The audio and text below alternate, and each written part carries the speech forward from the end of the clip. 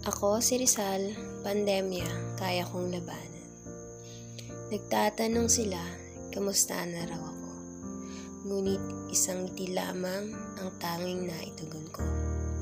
Wala namang bago, kahit hindi ayos, sagot ko'y laging oo.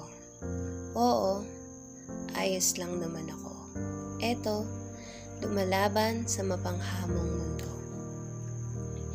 Ang mundo na dati malayang ginagalawan, tila naging bahagharing malungkot at nawalan ng kulay.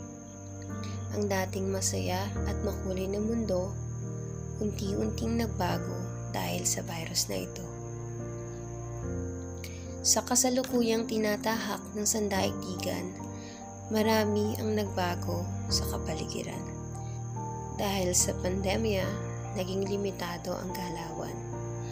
Marami ang natakot at humina ang loob.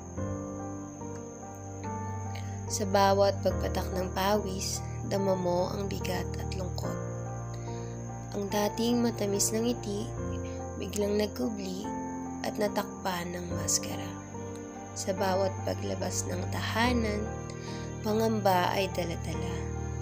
Dahil sa iyong pag-uwi, hindi mo namamalayan, baka nahawaan ka na pala.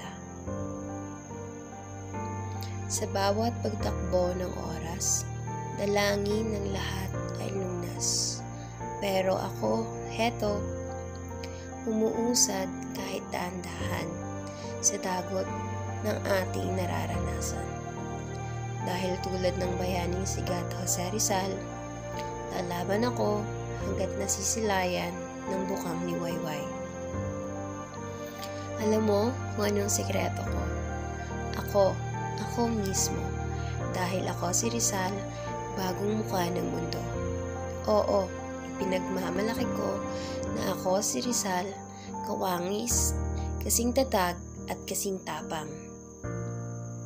Susugal ako kahit walang katiyakan kung mananalo. Mga pagsubok sa ilalim ng pandemya, di alam kung saan matatapos. Ako si Rizal sa gitna ng kinakaharap na ito. Makikipagsapalaran kahit kalaban, hindi malaman kung nasaan. Ako pa rin ang Rizal na handang harapin anumang pagsubok yan.